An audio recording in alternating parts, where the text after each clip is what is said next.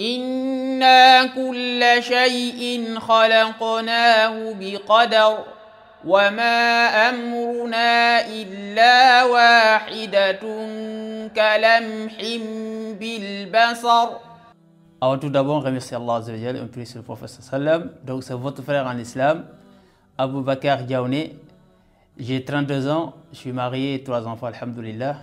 Alors aujourd'hui, je travaille euh, dans le domaine de tout ce qui concerne sécurité incendie. C'est ce qu'on appelle SIAP, service de sécurité incendie et assistance à personne. Ah, Inch'Allah, alhamdulillah, j'ai eu de la chance. euh, mon père, Allah m'a euh, il m'a ramené dans les écoles coraniques.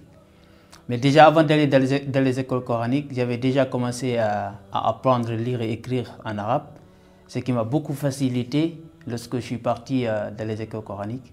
En huit mois, Alhamdulillah, Allah, il a facilité et j'ai terminé le Coran. Lorsque je suis parti, j'avais euh, 12 ans dans les écoles coraniques. C'est-à-dire de Surat al-Kahf à Surat al-Nas, ce qui fait 30 hizib, je l'ai fait en 4 mois.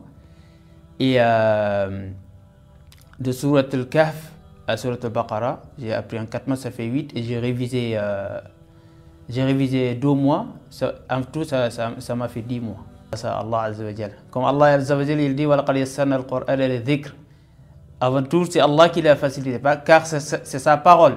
S'il n'aurait pas facilité, il n'y a personne qui l'aurait appris. Et aussi derrière, il y avait la volonté, c'était la, détermination et être aussi passionné, l'amour du Coran. Savoir que ça, c'est la parole d'Allah Azzawajal, comme Allah dit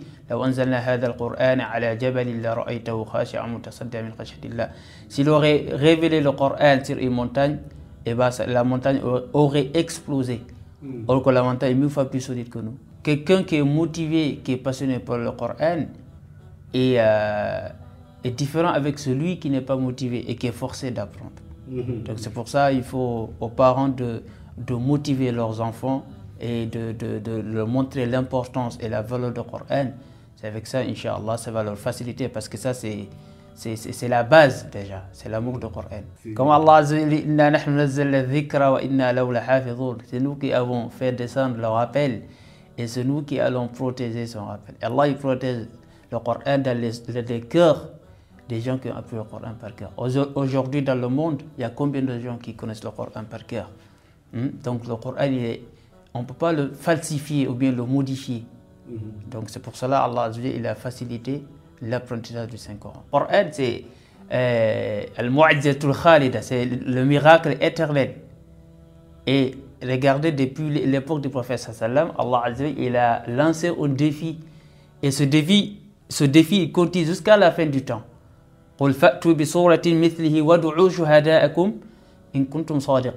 Ramenez quelque chose, une sourate. Allah a lancé ce défi depuis l'époque du prophète jusqu'à nos jours de ramener une sourate semblable au Coran s'ils sont capables. Et jusqu'à présent, il n'y a personne. Et ça, ça prouve que le Coran, ça vient d'Allah pourquoi? Parce que le prophète il est le dernier messager. Et vu que lui, il a été envoyé pour l'humanité et que c'est le, dernier messager, il fallait lui donner un miracle qui va avec tous les temps et, avec toutes les époques. Pourquoi? Parce que tous les prophètes qui sont venus, wassalam, ils sont venus avec des miracles, mais limités uniquement à leur époque. Il n'y a que le prophète sallam qui est venu avec un miracle qui est éternel jusqu'à la fin du temps. أعوذ بالله من الشيطان الرجيم. بسم الله الرحمن الرحيم.